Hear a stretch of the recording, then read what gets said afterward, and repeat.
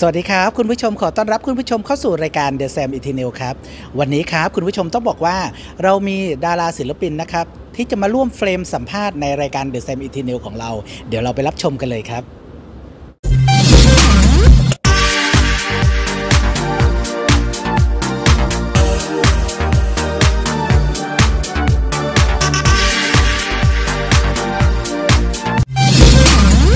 ประเด็นตอนนี้ที่หนึ่งในเรื่องของน้องทอยๆเนี่ยรู้จักกับพี่ไก่อ่ารู้จักกับพี่แมนตอนแรกเริ่มอ่ารู้จักกันได้อย่างไรครับเดี๋ยวเข้าความรู้จักกันได้ยังไงก็คือน้องทอยเนี่ยมีมีมีในแบบท่านหนึ่งนะครับก็เขาเขาเล่นเป็นเขาเป็นคนชอบเล่นฟิตเนสแล้วเป็นคนชอบแบบอ่ารักสุขภาพ ครับ ก็โทรหาพี่ก็บอกว่าเออมีน้องคนหนึ่งเนี่ยเขาเขา เขาเขาเล่นฟิตเนสอยู่อยู่กับผมเขาชื่ออะบอกบอกได้เลยก็คือชื่อชื่อน้องโดม น้องโดมก็พาพาทอยมา มาทอพาทอยมาที่เจอกับพี่ที่บริษัท ที่บริษัทเก่าของพี่นะครับ ตอนนี้เนี่ยพอพอทอยทอยเขาเข้ามาเจอพี่ก็รู้สึกว่า เออ พอเจอครั้งแรกเนี่ยพี่รู้สึกถูกชะตาเพราะน้องเขามันมี attitude อยู่อย่างหนึ่งที่เหมือนพี่ก็คือเขาทำงานเลี้ยงแม่ ทำงานเลี้ยงแม่ครับก็คือ ก็เราก็ถาม เราก็ทราบประวัติเขาตามปกติเหมือนนักแสดงทั่ว ๆ ไป ก็ในฐานะที่เราเป็นครูสอนการแสดง เราก็บอกว่าถ้าว่างวันนี้วันนี้วันนี้มาเรียนกันไหมวันนี้วันนี้มาเรียนกันไหมก็โอเค ในในในระหว่างนั้นก็น้องก็เริ่มรู้จักกับพี่ ก็มีความสนิทสนมกันในระดับหนึ่งเลยว่าเพราะว่าในในเพราะว่าตอนตอนนั้นเนี่ยที่ตอนที่พี่อยู่บริษัทเก่าเนี่ยพี่เปิดสอนการแสดง ก็เรียนทุกๆเสาร์อาทิตย์ก็มาไม่เคยขาด น้องทอยมาไม่เคยขาดเลย ก็มีความตั้งใจเรียน มีความตั้งใจเรียนแล้วก็มีความชอบครับพาไปงานไหนก็มีแต่คนชอบ เพราะเนื่องจากว่าน้องเป็นคนที่หนึ่งข้อแรกเลยนะ ตอนที่ตอนนั้นเขาเข้ามาสัมผัสกับเราเนี่ยเขาอายุเพิ่ง 16 พอในช่วงที่มัน 16 เนี่ยเขาก็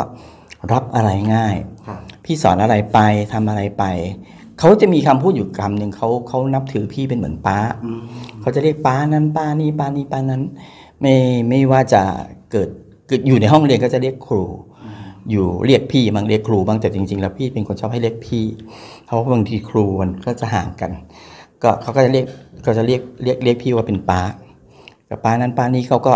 ดีไปมามามามือไม้อ่อน ให้รู้จักกับใครก็ไป เพอพาไปรู้จักกับท่านหนึ่งเล่นละครวายก็ไปถึงบ้านเลยนะ ไปกินข้าวก็เสร็จเขาก็น้องทอยก็จะเป็นคนที่แบบล้างชามให้ นู่นนี่นี่นั่นครับก็ก็เป็นเด็ก ถ้าถามว่าโดยมวลรวมแล้วเป็นเด็กที่น่ารักน่ารักมาก ๆนะครับ แล้วก็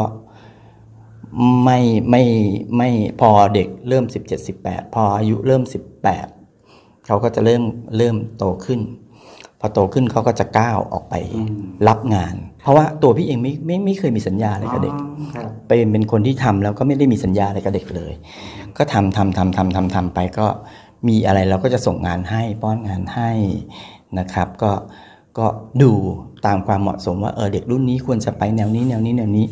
พี่ก็จะเป็นคนจัดการให้ แต่ว่าเราไม่ได้เป็นมารูลิ่งนะเพราะว่าพี่ไม่เคยเป็นต้องมากินเปอร์เซ็นต์อะไรจากเด็ก เพราะว่าเราเราเราทำงานตรงนี้พี่ถือว่า เรามีในส่วนอื่น เราได้ค่าสอนเราได้ค่าผู้กำกับเราได้ค่าเขียนบทเราได้ค่าทำเพลงเราอันนี้เรามีเรามีในส่วนอื่นที่เราจะ support ตัวเราเอง ตรงนี้เองเนี่ยพี่เลยก็เลยกับเหตุการณ์ก็ถามว่าช็อกไหมก็ช็อกก็ช็อกนะครับ ก็ก็ล่าสุดก็เพิ่งจะรู้ว่าเขาไปเซ็นสัญญากับน้องเอมมี่แม็กซิมก็มันอันนี้มันเป็นเรื่องที่อันนี้เป็นเรื่องของอนาคตถ้า